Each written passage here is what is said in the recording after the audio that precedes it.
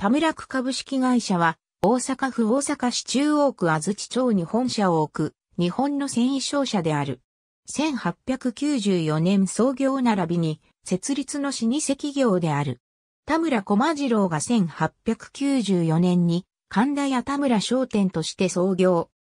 アイデアマンとして知られる、駒次郎の手腕により、関西を中心に業用を拡大したほか、1931年に初代の死亡に伴い社長となった二代目、駒次郎の手により、近代的な企業としての体制整備が行われ、一時は総合商社を目指したほどの勢いがあった。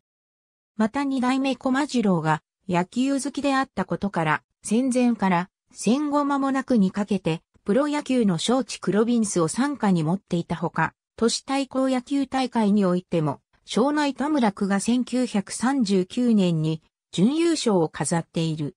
1950年代に朝鮮特需の反動不況により経営難に陥るが、その後、三は銀行などの支援で再建を果たし現在に至っている。その関係から、緑会の会員企業であり、三和グループに属している。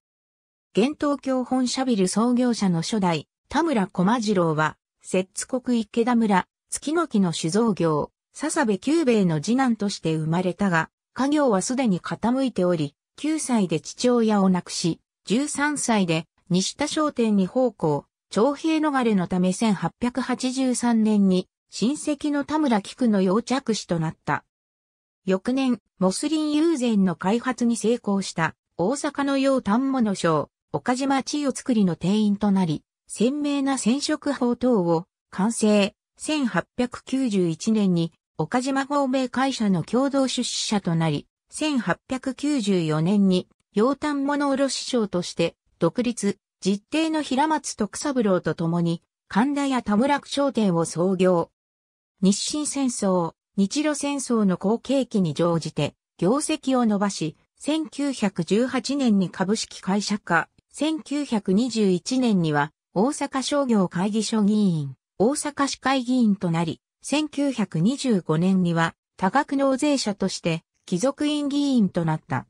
特殊家として故郷の池田小学校の設備費を寄付したほか、66歳で没した翌年には遺言による寄付金で池田市公会堂が建設された。また、1910年に東京銀座で展示された米国流行の福の神ビリケン像を見て、自社にビリケン堂を建てて祭り、1911年には登録商標をして使用した。没後、長男の駒太郎が襲名し、二代目田村駒次郎となった。二代目の楽譜は安田財閥の安田善介。田村駒次郎に関するカテゴリー。ありがとうございます。